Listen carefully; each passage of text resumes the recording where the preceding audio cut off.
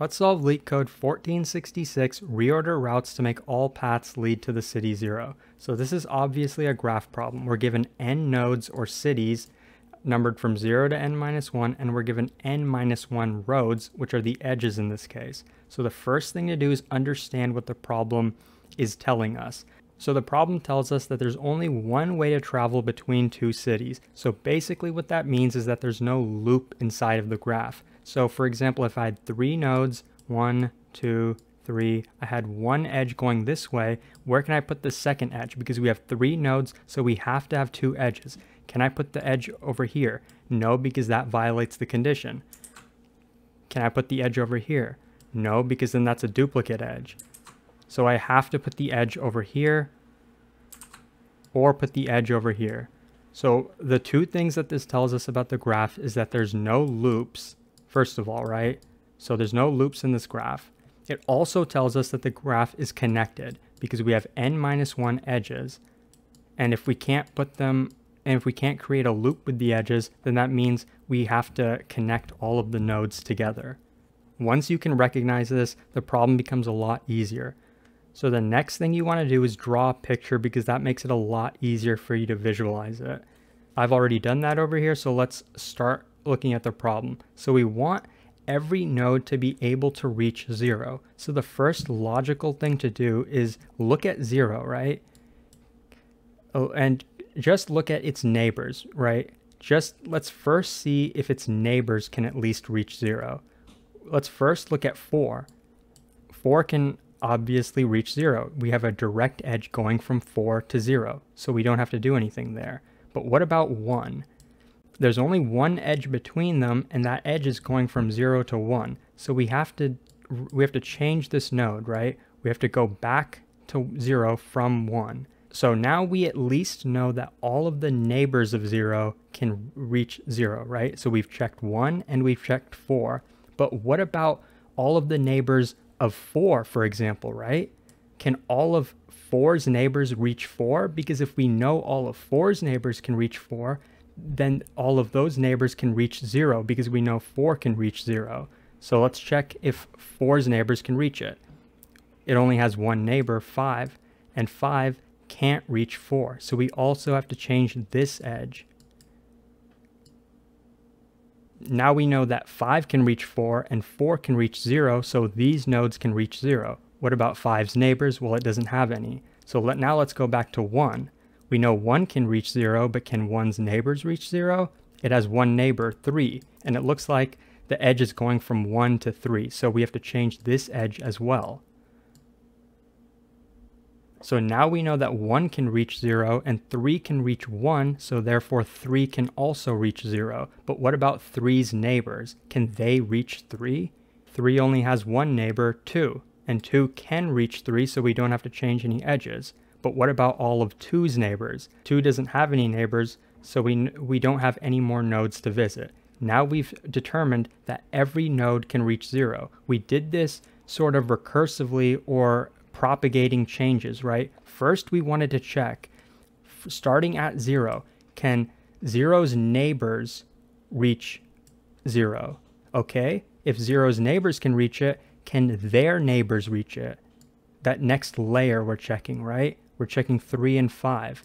And then if those nodes can also reach 0, can their neighbors reach 0? We check the next layer and there's only one node there, only two, right? So it's kind of like a breadth first search. We're just propagating outward to see to change all outgoing edges, right? We want every edge to be pointing back in the direction of 0.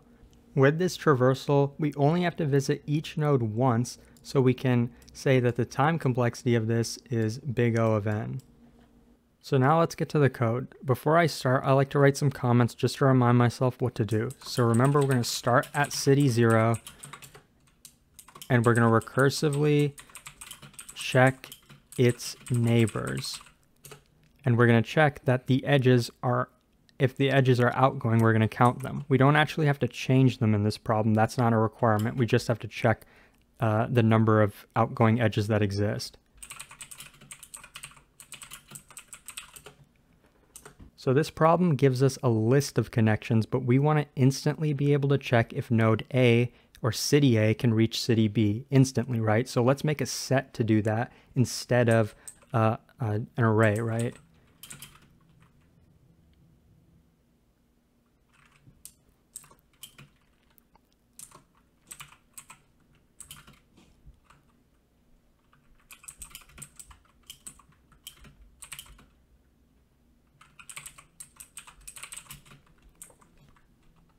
I'm going to use uh, set comprehension in Python to do that. So I'm basically getting each connection, adding it to a hash set. Next, we want to know each node's neighbors, not if we can reach that node itself. We want to know any adjacent neighbors of a node. So we're going to use a hash map for that.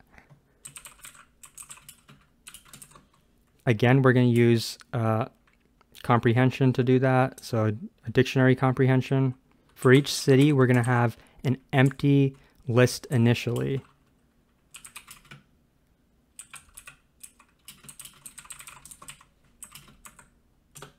We also only want to visit each node once so that we have the most optimal solution. So we're going to use a hash set to keep track of visited nodes. Also, we just want to count the number of edges that we have to change, so we'll just use an integer to do that. Next, we're going to fill up our neighbor's hash map.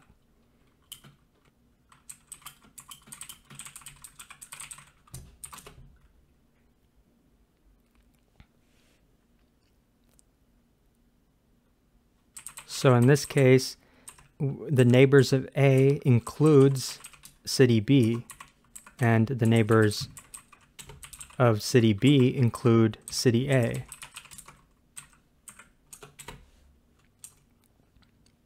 Now we want to write our function to actually traverse the graph. You can do this a bunch of ways, iteratively, recursively, depth first search, breadth first search, but I'm going to do this depth first search recursively.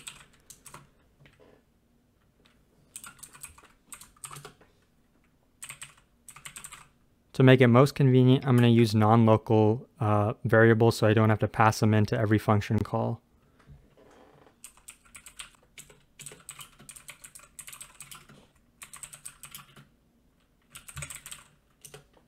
So for each city, we want to iterate through each of its neighbors, right? So we can do that pretty easily. If the neighbor itself has already been visited, we don't want to traverse it again, so we'll just continue to the next iteration, to the next neighbor. So next we want to check if this neighbor can reach city zero. So the way we can check if this neighbor can reach city zero is simply by checking if the tuple neighbor city exists in our set edges. If it exists, that means neighbor can directly reach the city that we're currently at.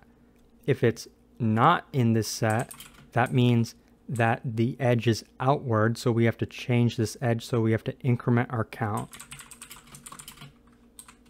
Once we visit a neighbor, of course we have to mark that it's been visited, so we don't visit it again.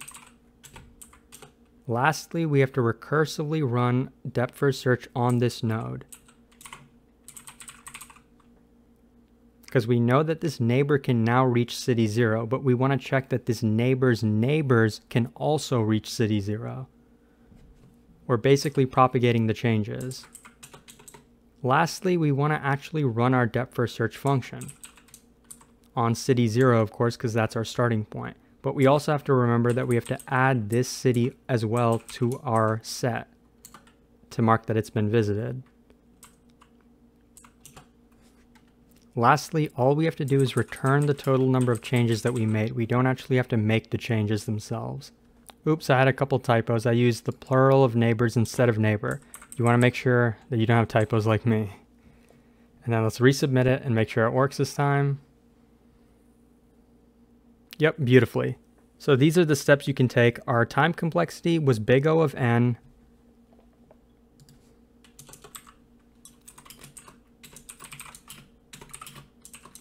Because we're visiting each node at most once. Our memory complexity was also big O of n because we have a bunch of data structures we're using, edges, neighbors, uh, visit, but we're only going to have each node or each edge in these data structures at most once. So it's going to be proportional to n.